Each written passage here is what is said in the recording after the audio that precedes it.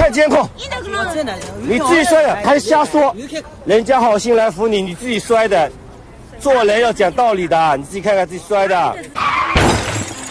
六旬老人骑自行车意外摔倒，路过的快递小哥好心将他扶了起来，谁知老人却恩将仇报，一口咬定就是快递小哥将他撞倒的，要求对方必须进行赔偿。面对如此无赖的老人，年轻的快递小哥也十分无奈。那么这到底是怎么一回事呢？据快递小哥说，事发时他骑着电动三轮车正常行驶在路上。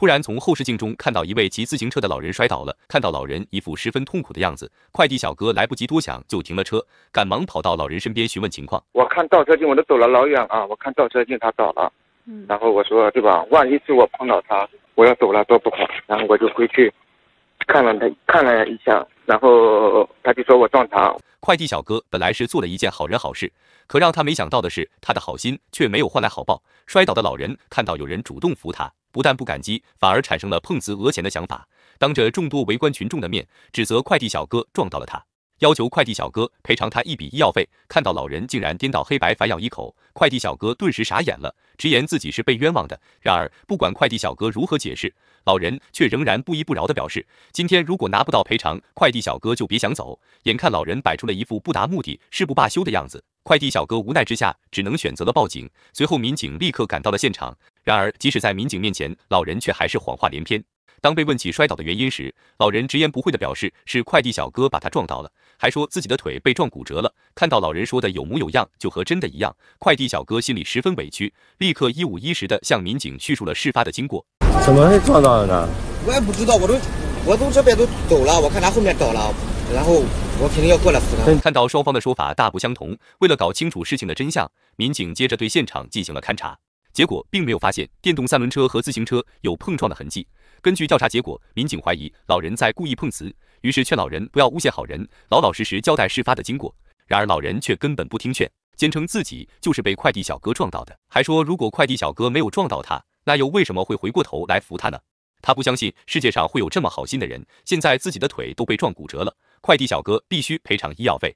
眼看老人今天是赖上自己了，快递小哥直呼真是没天理了。本来自己是在做好事，没想到老人竟然有这么多坏心眼。为了还快递小哥一个清白，民警随后联系了交管部门，调取了路口的监控视频。从视频中可以看到，在经过事发路段时，老人的自行车撞到了路沿上，然后他才连人带车摔倒在了路边。而当时老人的自行车和快递车相距至少有一米以上的距离，两车自始至终也没有发生过接触，所以这起事故是老人全责，和快递小哥一点关系都没有。在确凿的事实面前，老人只能承认了自己故意栽赃陷害快递小哥的行为。考虑到老人年纪比较大，民警随后对其进行了批评教育，便没有再追究他的责任。不过，令大家没有想到的是，老人在看到自己碰瓷失败后，竟然直接站了起来，骑着自行车一溜烟的跑掉了。之前编造的谎言不攻自破。虽然事情终于水落石出，快递小哥的冤屈也得到了洗刷，不过事后他还是心有余悸。我毕竟年龄小，没有没有什么义务去去指责他。是感觉搞笑而已。不过当时事实如果没有没有摄像头的话，那肯定是说不清楚的，对不对？感觉他们挺负责的，很公正。如果事发路段没有监控，那他真是跳到黄河也说不清了。这些年关于老人摔倒扶不扶的讨论屡见不鲜，其实大家都想助人为乐，但是一部分老人为了谋取一己利益诬陷好人，让大家心中不免有了忌惮。希望老人们能够多一些善良，不要让好人寒了心。那么，如果在路上遇到了摔倒的老人，你会上前扶一把吗？欢迎在评论区留言，我们下期再见。